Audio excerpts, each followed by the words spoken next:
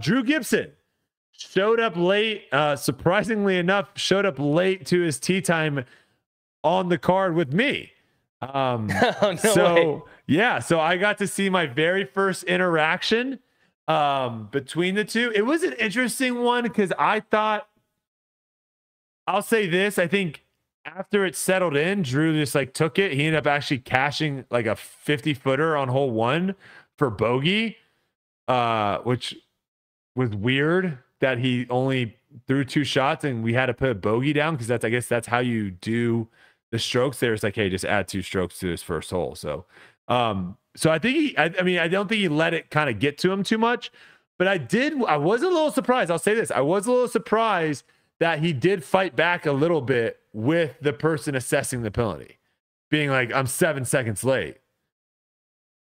I don't know what we have to do here, Uli. It's five minutes, guys. If you're if it's 501, you're late. I, I mean, and the guy, I feel bad for the guy because he was like, he knew he's he was like, oh my gosh, Drew's not here. I'm gonna ha-. say I don't want to do like no one wants to do this. No. So players, if you're late, I don't know Think- about that though. I think I think there was a certain situation this Okay, year where there the, might be a TD that gets a, gets off was by. excited about it. Yes, I okay, swear he okay. was like, I won't say who he was, but he was like, He's like saying it like- his hands, like, oh please, like where on." is this guy at? Like I'm like, what do you mean? He's like, he's about to be late, and I'm like, oh dude. And they had like an intercom system, Uli. I don't know if you heard it, where they're like calling players. I hate that. Like that should not do. Don't do that. We're not. We're not middle schoolers. We don't Yeah. need to be like Uli. Is Uli on the court? Has anyone seen Uli? Uli's tee time. Is like no. Stop doing that immediately. Um, but yeah, he showed up late, so he tweeted out saying fell victim to the five minute pre tee time rule today by seven seconds. Again, this is where I have a problem, Uli. People do this. They're counting out like how many seconds they're. It doesn't matter if you're late by 30 seconds or late by two seconds. You were late. And that's where I know certain people don't understand this rule or don't respect this rule or whatever, because you would not, if you were late, you would just say, like, bonehead decision, I was late. So he said by seven seconds, rules are rules. See, that's where it makes doesn't make sense. Rules are rules. You wouldn't, if rules are rules, you wouldn't say seven seconds. My game feels good, and my arm is also feeling great this week. Better scores to come. He actually did play really well. Yeah, but but that that's the thing too. Like, Freaking Nat in here. there's a difference. Rules are rules, but there is a difference. Being seven minutes late is different than being seven seconds late, Brodie. There is Yes, a difference. But no It's one's not showing like up was- seven minutes late, Uli. Yeah, but I'm just saying i there's a big difference. People are showing up a minute to two minutes late. Somewhere in that window, that's when people are showing up late. Yes, well, two minutes late is way different than seven seconds. Like he almost he was almost there. Sure. You- you- but I'm saying there's He no was reason. He was almost there. There's no reason to say that the time.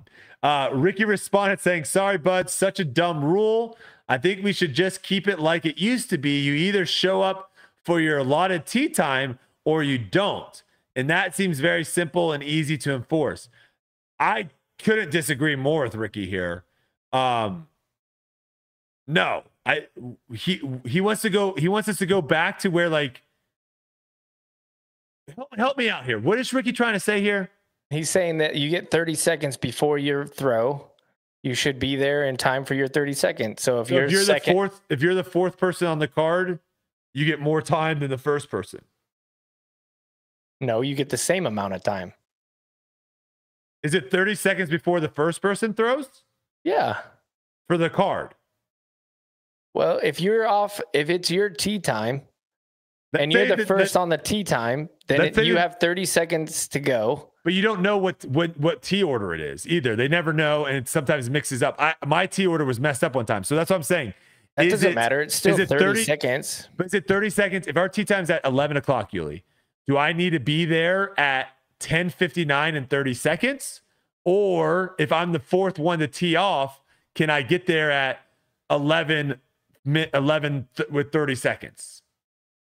Well, it depends on how fast those guys go. As soon as a person And that's throws, the problem. That's the problem. Because if your homeboys are on the card, your homeboys are all going to take their time. That's why this rule sucks. Five minutes. It's not your home, boys. If this happened in any other sport, people would still take their time. Nobody wants to see somebody get stroked over being two seconds late, Brodie. Some people I think don't care. yeah, some there- people. there's but some for the most part, care. like Yeah. We can all agree. Five minutes is far too long, Uli. We were up there on that stage. I was looking around. it's actually ten minutes. It really is because I get there way earlier because I don't want to be I put late. my alarm for ten minutes before my tee time in the morning when I wake up. That's why, to me, like, I think all these players would stop complaining if they literally just do like two minutes. I don't understand. It, it it makes it easy for the PDGA to enforce the first ever rule that they're going to ever enforce They do ever. a great job enforcing this rule. So they that's a because it's. Somebody's doing it for them. It's the announcer. It's not the PDGA who's even enforcing it. Like it's the only person who can see uh, one rule out of the whole entire tournament that's being broken. They definitely don't do pace of play because there's multiple times where it's like, hey, there's no No. one on these three holes. There's a three hole gap. Maybe you guys should do your job and go out there and tell people to speed I up. I saw somebody tweet like, "Hey, but they'll stroke you if you're seven They- seconds late. They'll stroke you if you're seven seconds late, but they'll let everybody spend two hours putting.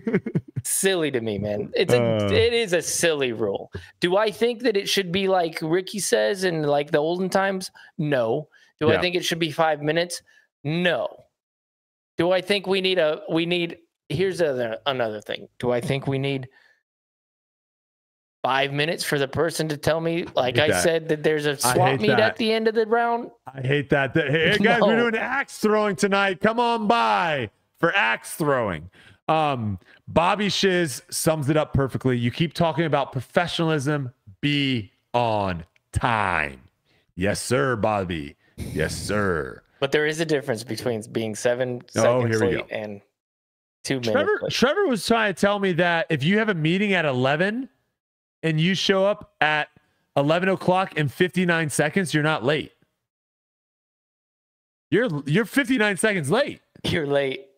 He was saying that you're not late. As long as you show up between 11 and I hear what he's oh saying because some clocks don't say like they don't count the seconds. he considers you not late if you're somewhere in that. Like he gives almost like a one minute grace period. And I'm like, no, 11 o'clock is when the meeting starts. Like if the meeting starts at 11, I'm already being like, all right, guys, this is what we're talking about. So if you show up at 11:59, you've missed 59 seconds of the meeting. Are you I an on time guy or a late guy? Depends on what it is. Okay. 100% depends on what it is. 100%.